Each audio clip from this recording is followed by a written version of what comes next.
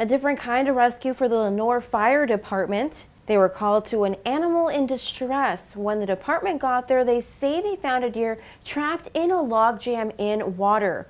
Photos show they were able to free the exhausted male deer. Using a rope, they were able to walk it to a safer location. Surely that deer is grateful for their help.